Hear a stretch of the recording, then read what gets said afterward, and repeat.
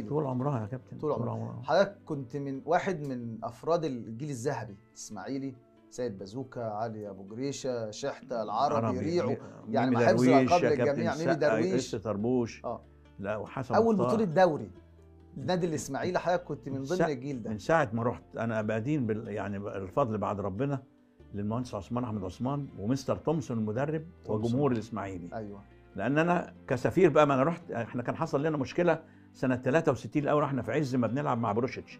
ده موسم رائع رغم إن الاسماعيلي طبعا يوميها في الدوري كسبنا 4 1 و4 2 على ملعب الاسماعيليه ده اللي جنب ال line وما تقدرش ولا تر- ترمي ال out حتى.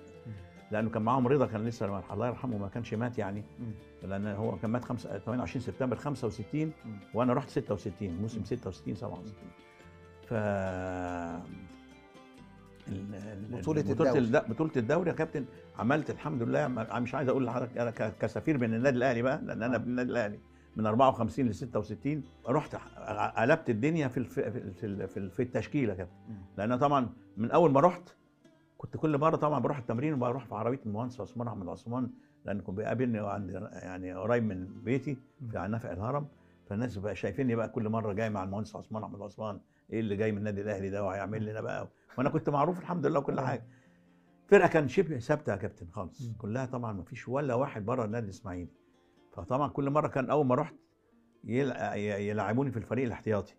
على الفريق الأساسي. فطبعا أقلب لهم الدنيا وجمهور الإسماعيلي يريعوا. دي كانت بت- زي ال زي ال يعني بترجل بترج المدرجات زي أيام النادي الأهلي ومدرج الخشب. كنت بتحب. الهتاف ريعو من المدرج. الحمد لله آه كابتن. ورغم ذلك لعبوني كان لسه حتى تومسون ما جاش ورغم ذلك لما شافوا بقى إن أنا يعني مستوى لازم ألعب بأي طريقة. حجزت مكانك خلاص لعبوني على طول يا. كابتن أول ماتش ترسانة في الإسماعيلية.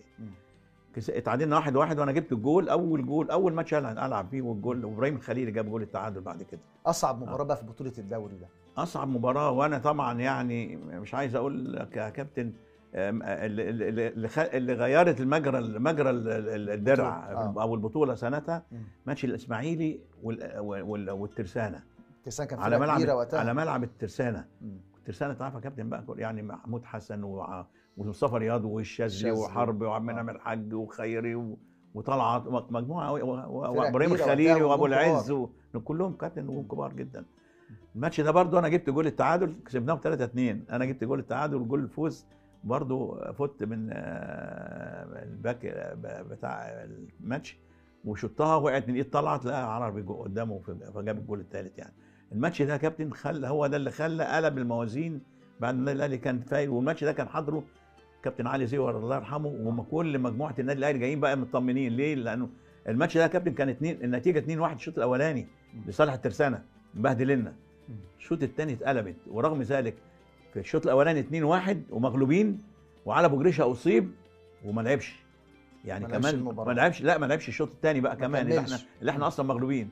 وعملنا أحسن شوط ثاني وكان بقول لحضرتك علي زيور موجود ومت يعني كان ومعاه كل اللعيبة فؤاد أبو غيدة والمجموعة كلها على أساس إن إيه الاسماعيلي هيتغلب وخلاص الأهلي ياخد البطولة ف- وده وده كان وده أول كان- جيل كان- آه. يقص شريط البطولات نادي الإسماعيلي طبعاً يا كابتن. اول بطولة للدوري وده أول ماتش العبه في حياتي ضد النادي الأهلي من ساعة ما انضميت لي يعني الحقيقة. الماتش ده كان 5 مايو يا كابتن 67 كان على ملعب الإسماعيلية.